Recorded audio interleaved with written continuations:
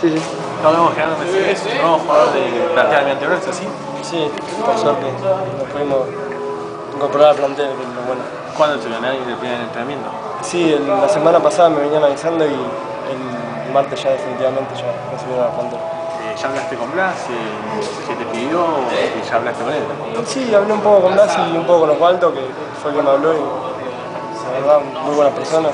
Me hablaron y me aconsejaron y eso es bueno, sirve para, para comprarme las cosas, ¿no? Sí, contento con esta posibilidad, ¿no? Sí, es una linda posibilidad, la verdad que es lo que uno, todo, todo jugador sueña de inferiores y es lo que, a lo que uno anhela. Y es lindo que te toque ahora y hay que aprovecharlo. ¿no?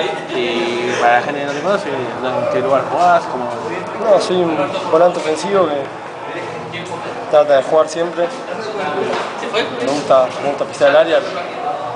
Trato de jugar simple, amigo. No me gusta hablar mucho, solo jugar. Eh, seguro que vimos algunos partidos de la quinta, es más lírico que otra cosa, ¿no? Sí, sí, me gusta. Tirar chistes Sí, todo eso. pero son cosas que se dan en el partido, no son. No es para sobrar ni nada, es algo que se da en, en el encuentro.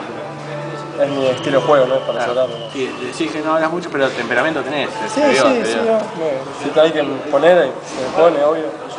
Pero no, pero contento, por suerte, con esta chance.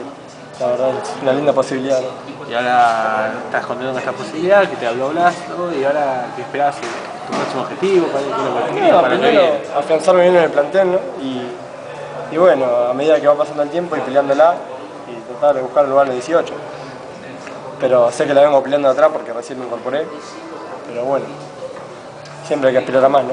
Listo, muchas gracias. Gerardo. Gracias a está.